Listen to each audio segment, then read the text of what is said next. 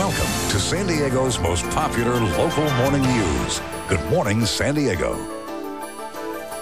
Well, welcome back. Something really cool going on this weekend. It's a collaboration of live painting and music. Crescendo is uh, with us this morning. It is an event. Joining me right now is Henry Asencio. He's the artist. Good morning. Good morning. And, and Aaron Meyer on the other side here, who is the concert uh, violinist.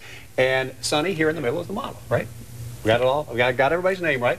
First of all, tell, tell us what's going on. This Well- sounds really cool. Yeah, what we're doing at the gallery tonight um, from 6 to 9 is um, Aaron will be playing live, Sandol will be my model, and I'll be creating a painting from scratch. So this one's nearly done. I'm putting the final touches, but at the gallery you'll be able to see it, how a painting is created from the beginning. Now, when you say the gallery, where, where are we It's EC Gallery at the Fashion Valley. EC Gallery at the Fashion Valley. Now, how did you come up with this connection to this, this the music? Well, I met Aaron in, um, in Portland, and he was a collector of mine. And um, we started talking, and I found out he was a you know world famous uh, violin- violinist. Uh-huh. And then we got together for this show, or a couple of shows ago.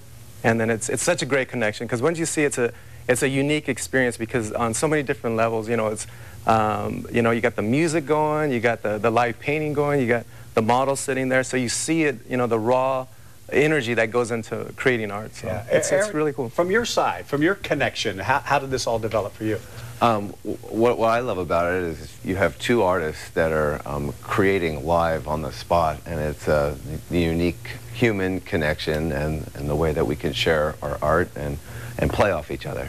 Yeah, does it inspire? The, does the art inspire your music, or is it vice versa? You or know, it- it- Both I think it goes yeah. both ways, yeah. For, for me, it feels like Henry's part of the band. right on. right on. that's kind of cool. And it's a, it's Cool a, it's a really cool connection because um, a collector was telling me last night that sometimes I'll be on my own, then we'll connect with the music and the stroke, and then it'll You can just you can feel you it. can feel it. better You than an iPod, isn't it? Much better. Much better than the iPod. Now, tell us this is going on at last night and then tonight and Yes. tomorrow night. Mhm. Give us the times. Um, uh, six to nine tonight, and tomorrow from twelve to five at So, the Fashion Valley. Daytime tomorrow. Day- Now, is there a charge for this to come in? No, it's free. It's absolutely free. You just come in, uh, view the experience, and um, come and check out the artwork. And once again, the name of the gallery is EC Gallery, Exclusive Collections And where is Gallery. it? It's close to Uh, Nordstrom's, right, right Neiman? Marcus? Neiman Marcus. Neiman is it Marcus, yeah. Okay, near the Neiman Marcus. Uh, people need to know that. Yeah. And uh, so, what are you going? You're going to play a little bit for us and, and do a little Yeah, artwork for us, okay? This is cool.